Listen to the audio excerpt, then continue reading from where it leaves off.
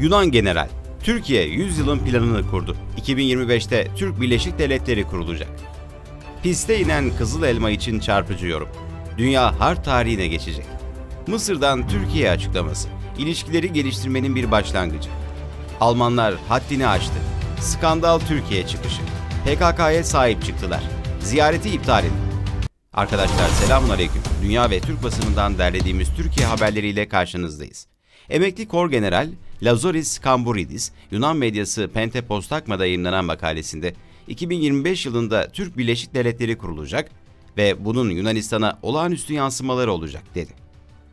Adalet ve Kalkınma Partisi hükümetinin 21. yüzyılın ilk 10 yılında uygulamaya koyduğu 2023 vizyonu tamamlanma tarihi 2023 olan yeni Türkiye'yi kurmaya yönelik ulusal bir programdı diyen Yunan general, ancak yeni iddialı Türkiye'nin 100 yıllık planı tüm Türk devletlerinin birleşmesiyle ilgilidir ve Türkiye'nin artık Avrasya'ya bakmayacağı ve kendi merkezi olacağı için yüksek stratejide ve Ankara'nın daha geniş yöneliminde ciddi değişikliklere neden olması beklenmektedir, dedi.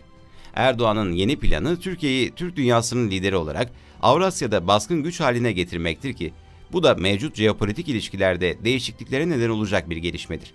İfadesini kullanan Kamburidis şöyle devam ediyor. Hali hazırda merkezinde Türkiye'nin yer alacağı esaslı bir Türk Devletleri Birliği kurulmasına yönelik kurum ve yapıların oluşturulmasına yönelik sessiz süreçler devam etmektedir. Hali hazırda Türk dili konuşan devletler arasında işbirliğini teşvik etmek amacıyla hükümetler arası bir Türk Devletleri Örgütü bulunmaktadır. Macaristan gözlemci ülke olarak katılmaktadır ve son konferansta sözde devletin gözlemci ülke olarak kabul edileceği açıklanmıştır. 28 Ekim 2022 tarihinde Türkiye Cumhurbaşkanı Ankara'da partisinin düzenlediği görkemli bir etkinlikte Türkiye'nin 100 yılı planını sundu. Diğer hususların yanı sıra şunları söyledi. Türk Vizyon Yüzyılıyla demokrasimizin yeni yüzyılına dinamik bir başlangıç yapmak istiyoruz. Türklerin kendileri bu vizyonu en iyi şekilde uygulayacaklardır. Erdoğan'ın yeni vizyonunun okunması birçok analist tarafından mütevazi bir şekilde okunmuş gibi görünüyor. Çünkü diğer ekonomik birliklere, siyasi ve askeri örgütlere karşı bir denge unsuru olarak Türkiye'nin başı çektiği yeni bir siyasi, ekonomik, askeri ve kültürel Türk ülkeleri örgütü oluşturulması öngörülüyor. Türkiye'nin 100 yılın planının detayları gizli tutuluyor ve açıklanmıyor gibi görünüyor. Zira Rusya'nın tepkisine kesin gözüyle bakılıyor. Özellikle de Ankara'nın ulusal hedeflerini tatmin etmek için Moskova ile ilişkileri nedeniyle ABD ve NATO'ya dolaylı olarak şantaj yaptığı bu dönemde. Hatırlanacağı üzere Rusya'nın Kremlin sözcüsü Peskov'un açıklamaları aracılığıyla verdiği ilk tepki 17 Kasım 2021 tarihinde Milliyetçi Hareket Partisi Genel Başkanı Devlet Bahçeli'nin Türkiye Cumhurbaşkanı Sayın Çinse Türkiye'nin Uygur meselesinden ve İpek yolunun Türk Birliği tarafından kullanılacak olmasından dolayı ekonomik politik nedenlerden dolayı rahatsız görünüyor. Ülkenin bütünlüğü tehdit altında olduğu ve bölgedeki rolü azaldığı için İran'dan da tepkiler bekleniyor. 2025 yılında Türk Devletleri Birliği ilan edilecektir. Siyasi bir birlik öngörülürken ekonomik birlik konumu itibariyle aynı zamanda önemli bir enerji ve ticaret merkezi olacak olan Türkiye merkezli olacaktır. Ayrıca merkezi Bakü'de ve ana karargahı Ankara'da olmak üzere ortak bir ordu kurulması da planlanmaktadır. Ortak bir Türk alfabesi ve dilinin oluşturulması çalışmaları hala hazırda başlatılmıştır. Kuzey Makedonya, Arnavutluk, Kosova ve Bosna Hersek gibi Balkan ülkeleri de birliğe dahil olabilir. Türkiye Cumhurbaşkanı 2023 vizyonunun tamamlanma süresinin dolmasıyla birlikte tüm Türk dünyasının siyasi, ekonomik, askeri ve eğitimsel olarak birleştirecek yeni bir planı Türkiye'nin 100 yılını tanımladı. Yeni Türkiye modeli Osmanlı geçmişinden yararlanarak Müslüman dünyasında öncü bir role sahip siyasi yumuşak İslam modeli olacaktır milli yeminin uygulanmasında yaşamsal alanının genişletilmesi ve Lozan Antlaşması'na meydan okuyarak Mavi Vatan vizyonunun uygulanmasıyla birlikte şimdi bir Pan-Turan Birliği modeline dönüştürülmekte ve genişletilmekte, böylece KK parçalanmaktadır. Atatürk'ü tüm Türklerin babası olarak tarihin çerçevesinden çıkarmak. Türkiye bu birlik içinde öncü bir rol oynayarak ve coğrafi konumunu kullanarak Asya'nın batıya açılan kapısı olan ve Türkçe konuşan Asya devletlerinin kaynaklarını kullanan bir enerji ve ulaşım merkezi haline gelecektir. Siyasi olarak Rusya'nın batıdan kopması ve Çin'le ABD'nin karşı karşıya gelmesi bu amacın gerçekleştirilmesinde şimdilik Türkiye'nin lehine Ankara, Rusya, Çin ve İran'la rekabet halinde olacağı için bir pan-Türk Birliği'nin Amerika'nın çıkarlarına hizmet edeceğini ABD'ye açıklayacak, aynı zamanda Avrupa Birliği içinde de gerekli görünecek. Orta Asya ve Kafkasya'daki Türk ülkelerinin hidrokarbon, doğal zenginlikleri ve diğer ürünlerinin Avrupa ülkelerine ana geçiş merkezini oluşturacak. Bu planın başarısı Yunanistan'ı etkiliyor. Çünkü Türkiye, NATO ve Avrupa Birliği'nde çok ihtiyaç duyulacak bir devletler koalisyonunun lider gücü olmayı arzuluyor ve Ankara ülkemizin pahasına ulusal hedeflerine ulaşma konusunda daha büyük bir yeteneğe sahip. Avrasya Türk dünyasının merkezinde tutacağı seçkin konumdan yararlanarak ABD ve Avrupa Birliği'ne şantaj yapmaktadır. Ankara'nın şu anda Moskova ile olan ilişkisi nedeniyle ABD NATO karşısında göreli bir manevra özgürlüğü varsa bütün Türk Birliği üzerinden asrın planının uygulanması ona çok büyük bir özgürlük sağlayacaktır. Stratejilerini, hedeflerini gerçekleştirmek için artık Yunanistan'ın güvenlik unsuru olan ABD ve Avrupa Birliği ile karşı karşıya gelecektir.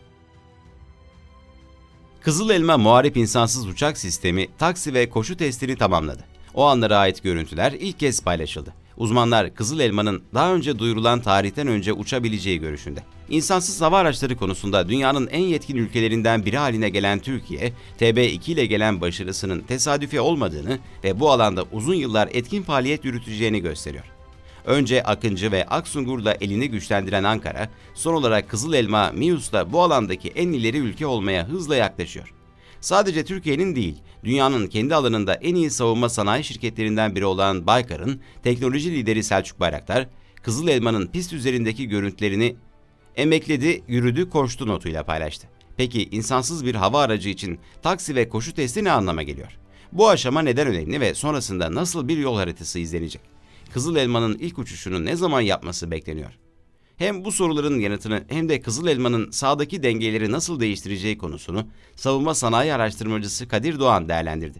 Öncelikle taksi kavramını açıklayarak başlıyor anlatmaya.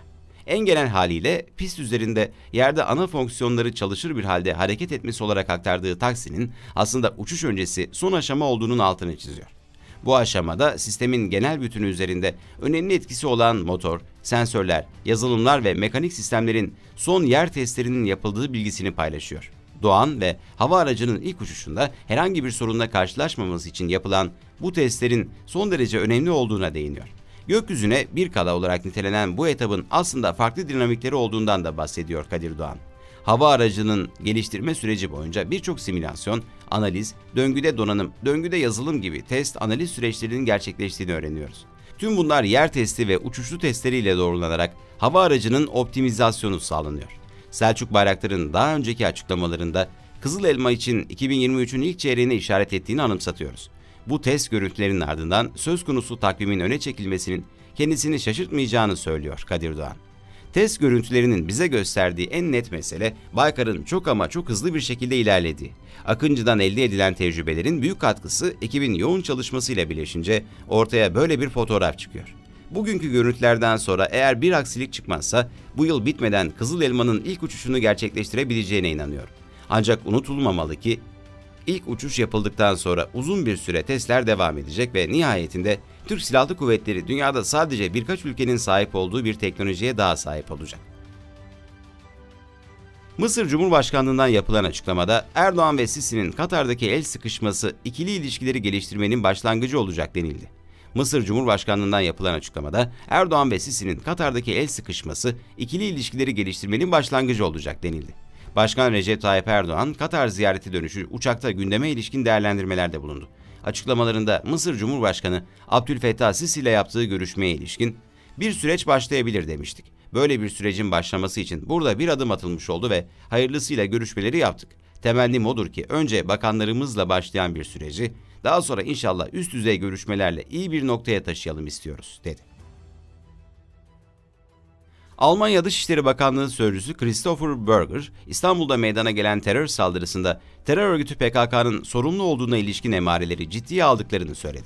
Berger, Berlin'de düzenlenen basın toplantısında Türkiye'nin Suriye'ye ve Irak'ın kuzeyine düzenlediği operasyonu değerlendirdi. Türkiye'nin Suriye'nin ve Irak'ın kuzeyindeki çeşitli noktalara yoğun hava ve topçu harekatı yaptığına dair haberleri gördüklerini belirterek, İstanbul'daki korkunç terör saldırısından sonra Alman hükümetinin Türkiye ile dayanışma içinde olduğunu açık şekilde ifade ettiğini hatırlıyorsunuzdur.